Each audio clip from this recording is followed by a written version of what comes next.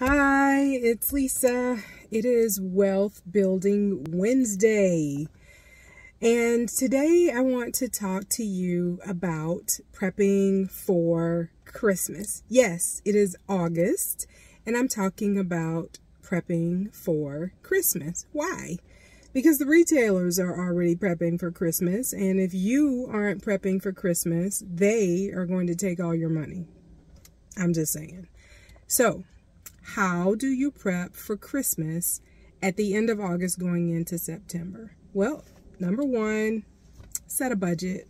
Seriously, uh, how you do it is completely up to you. We tend to use sinking funds. I'll put a link uh, to an article I wrote on sinking funds in the um, description. Um, and so we actually set aside money every month uh, for Christmas, and we do that all year round. Uh, it's one of many sinking funds that we use. So before we do anything else, we know exactly how much money we have available to spend for our kids and everyone else. And I think you know uh, that Keith and I don't actually give each other gifts. We haven't done that in the almost 12 years that we've been married. Um, and so that we're not in the list, but everyone that we are going to give uh, including and especially the people who serve us.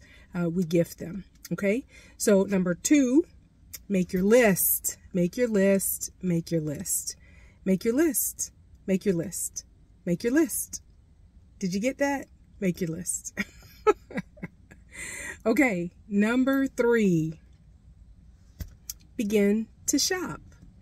So what you spend on each person is completely up to you.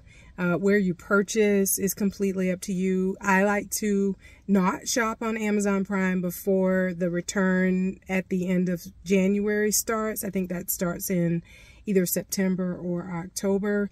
Um, I'm a big Costco shopper. You can return there anytime.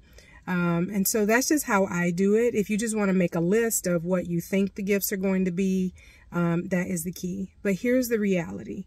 Christmas is on December 25th every single year.